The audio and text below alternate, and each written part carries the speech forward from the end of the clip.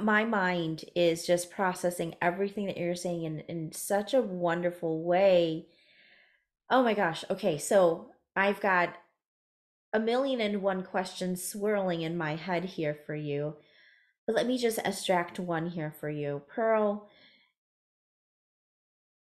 if someone someone's listening to this episode and they're saying, "Okay, you went, you embraced the award and you now have come to realize that by receiving you're not taking or stealing away from somebody else. But how? How how did you get there? It doesn't seem sometimes it seems easier said than done.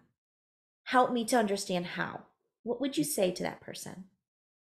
Um do you know i one of the things um you know, a lot of the time is, I think it was Helen Keller that said the only way out is through. And a lot of it is about awareness. And um, the first self help book that I wrote is called Free, and it's called Feeling Real Emotions Every Day. So it's F R E E. And I learned from Don Miguel Ruiz, really great teacher. And he was talking about you know, that all all emotions are real Okay.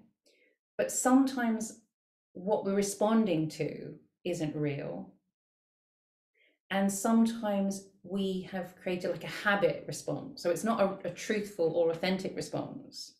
You know, it's it's that. So what we do is we go down into the emotion. So we don't run away from it. We don't use meditation to block it. We examine it, you know, um, in a similar way to a therapist would do you know and what's this about? And we and we go down down down you know. Is this an authentic response? If so is the um uh, is the thing that we're responding to real or is it imagined? You know so sometimes we respond to something because we're afraid that something might happen you know we we're imagining it. Um, or we assume something or we mis mishear something misinterpret something um, so again, it's about going down into that, and a lot of it is about just getting very grounded and and listening. And often we get triggered. You know, it's again we talk about PTSD in my training, and when we get triggered, it's not about running away from that trigger. You know, it's about taking, you know, learning to take care of ourselves. You know, and realizing that whatever's coming out needs to come out, you know. And that trigger is there to serve us. It's it's there to say, okay, what's happening? Why is this happening?